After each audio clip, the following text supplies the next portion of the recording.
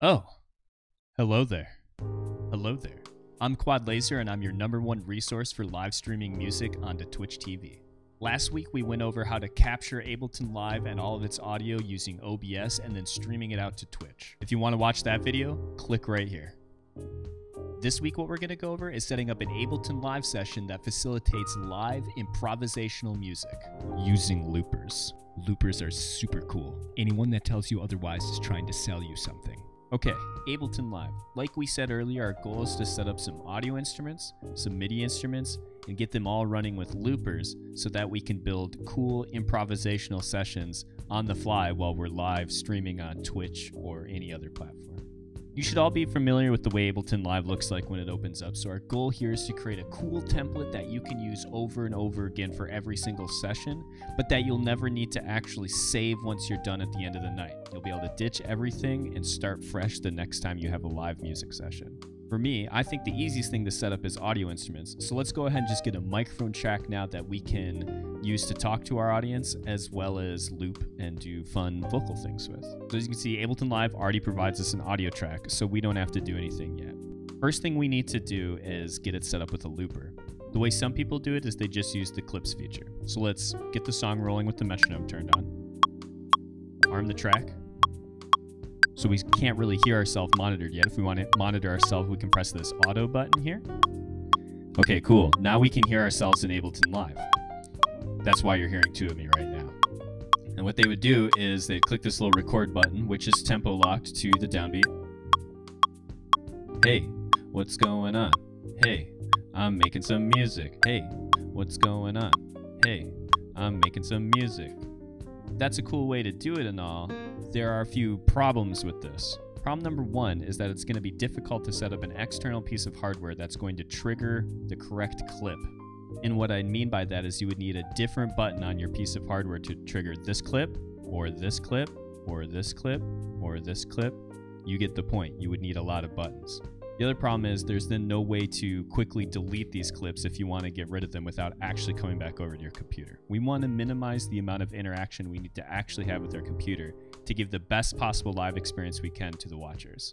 The second problem is you need to press a button to start recording and then a button to stop recording and start looping. Ableton Live has a great built-in audio effect called the looper that kind of eliminates all these problems for us and lets us do a little bit of pre-planning that gives a better experience to both the people watching and you as a performer. So let's go ahead and get the looper set up now. The way to do it is to make sure over here on the left you're in the audio effects category and then scroll down to looper here and drag it onto your audio track and let go. Now down here on this track you have a new looper effect. Let's go over it really quick. The first cool thing I want to show you about the looper is right here where it says record and then X number of bars. What's great about this is a drop down menu and you can select the number of bars or measures that you want to record for. A common number is four measures, maybe two measures, maybe eight measures. I'm going to set it to two measures for now just to give you an example of how this works. Let's record another little bit of audio that we're going to loop, kind of like we did with the clip before. Hey, check it out. I'm making some music. Hey, check it out. I'm making some music. Hey, check it out. I'm making some music. Okay, so you're probably noticing right now, hey, dude, that's exactly the same as the clips. So what's the point of using this at all? Well, let's check out feature number one. I'm to clear this out. And now if you notice, we have this then plus sign button. That's just the default setting. We didn't touch it. So let's check it out and see what it does. Watch this.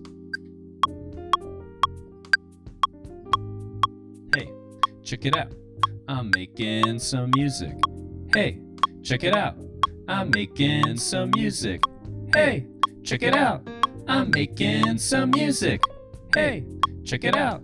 I'm making some music. So as you just saw, you can actually layer your voices together without having to start or stop or do any extra special things.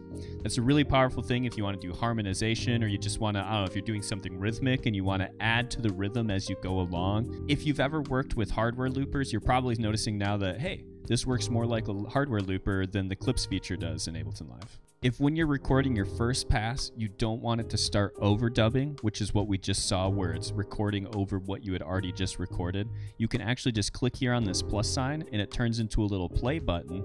And that way, when it gets to the end of the initial two measures, it will just start playing it back and it will not put it into overdub mode. If you like what you're learning, be sure to subscribe to the channel because next week we're going to go over thinking about how to have a long term and interesting improvisational session with loopers. You don't want your audience getting too bored.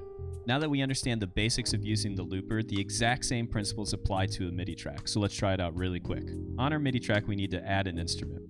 Ableton Live comes with some built-in instruments, or if you don't have them, you probably have some plugins. Anyway, use whatever your favorite MIDI instruments are for this step. I'll just pick a really simple electric piano. Now we do the same thing as we did for our audio track, which is to go to Audio Effects and grab the looper and throw it on the end. This will give us the exact same abilities that we had when we were looping on the audio track. Let's go ahead and set this to two bars and loop something really quick.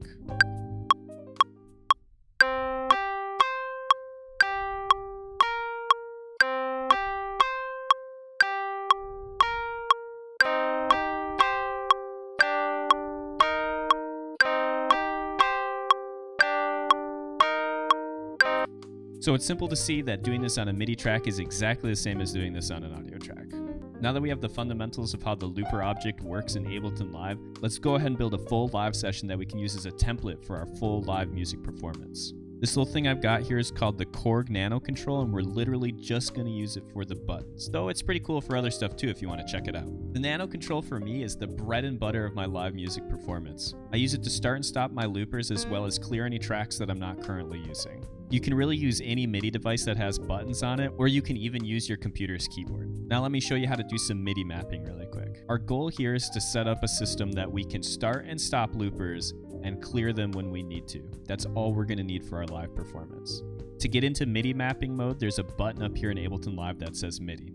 When you click it, you kind of get this crazy looking blue thing. The way MIDI mapping works is you click on any of these controls that have a blue highlight over them, and then you click or move the MIDI thing that you want to attach to it. In this case, what we want is a button to start and stop recording or turn on overdub mode. And we want a button to clear our track.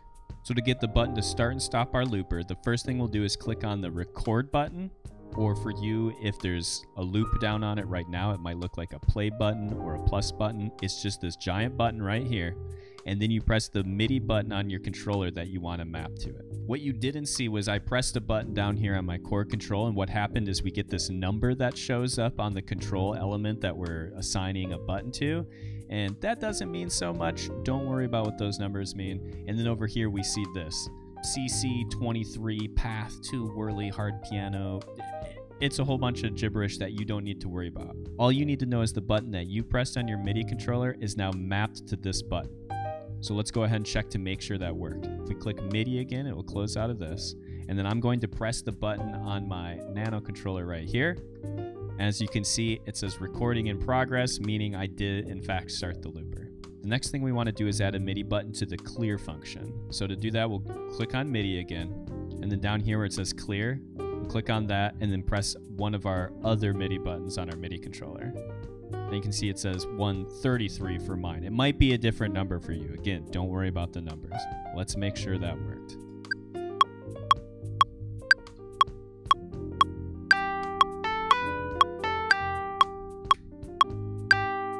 Okay, I'm going to press the clear button on my MIDI controller. And it cleared it out. If you don't have a MIDI device to do this with, you can do the exact same thing with your computer keyboard. The way you want to do that is it's the same way as MIDI mapping, except you're going to press key instead of MIDI. Then you're going to press on the element you want and press a button. I picked Q. Now Q is mapped to this record button. Then we click on the clear button, press W.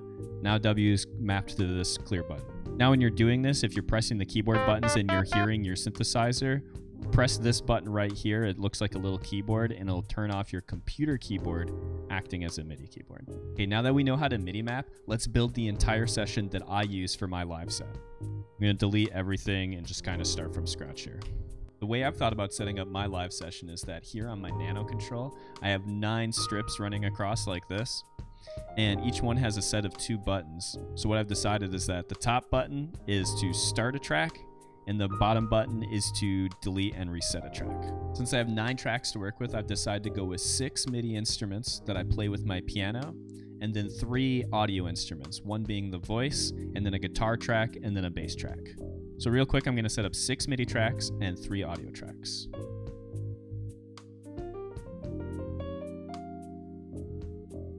If you don't know the shortcuts, the shortcut to create a MIDI track is Control Shift T, and the shortcut to create an audio track is Control T. Oh hey, welcome to the piano. The MIDI instruments that I like to add to my session are two Rhodes tracks, two piano tracks, and two drum machines. If you have the built-in Ableton Live instruments, the Rhodes tracks can be found here. Make sure you're in the Instruments tab, open the Electric category, open Pianos and Keys, and then go down here to where it says Old School Rhodes. Drag that on your first MIDI track. The Rhodes are a classic instrument with a warm tone and blend really well with a lot of other instruments going on at the same time.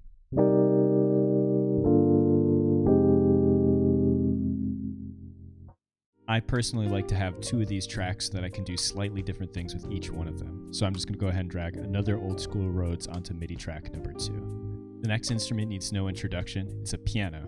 Piano can be found under Instrument Rack, Piano and Keys, and then there's a whole bunch of these grand pianos down here. I like to just use this basic grand piano one.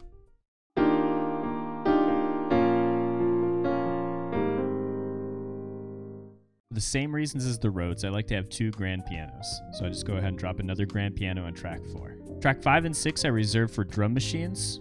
I like to have one drum machine as a sort of percussion sound bank and the other one as a sort of all around general use drum kit. You can find some built in Ableton Live drum kits by closing Instrument Rack, opening Impulse, and here are some drum kits. I like to use Percussion 1 for my percussion instruments.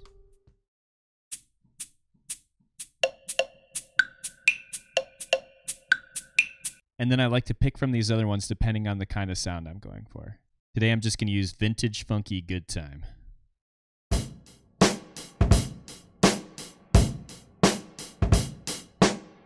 The last three tracks here are reserved for my guitar, my bass, and my vocal track. For time reasons, we're not going to go over setting up the guitar, bass, and vocal track, but just remember it's the same way as setting up the MIDI tracks. Now all we need to do is add a looper to each one of these tracks. Remember, the looper can be found under Audio Effects, Looper.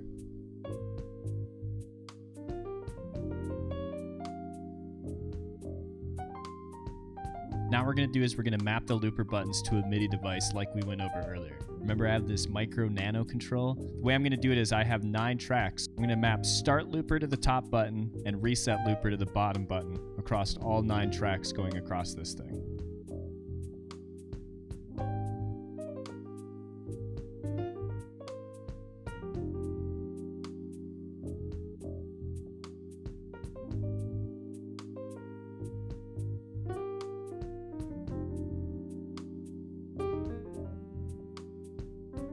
Now that I've got the looper buttons mapped, I can sort of play around with it and do whatever I want in improvisational style.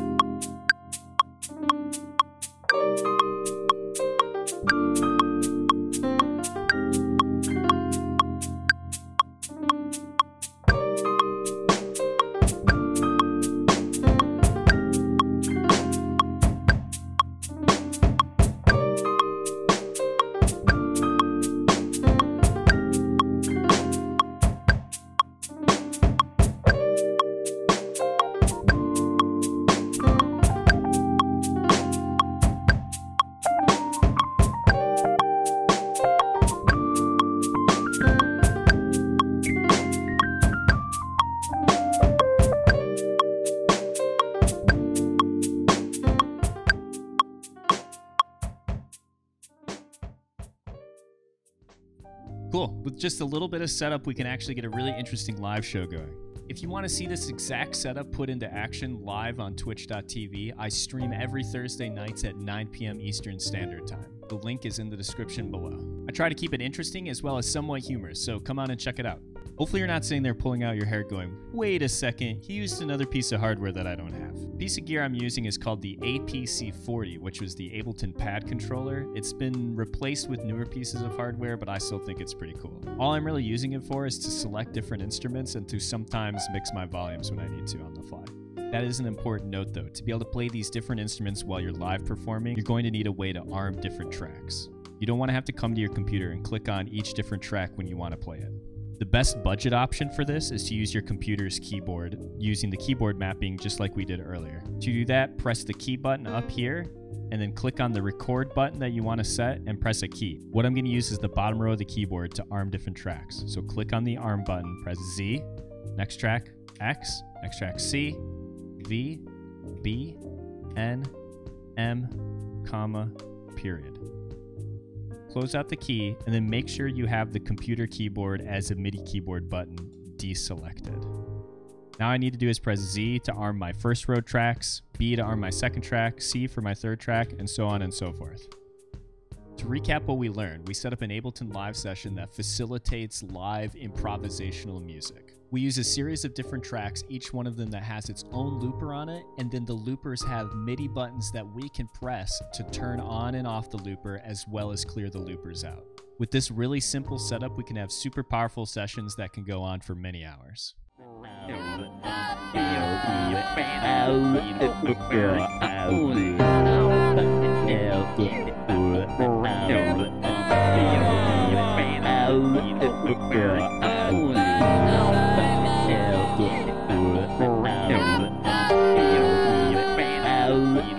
Yeah.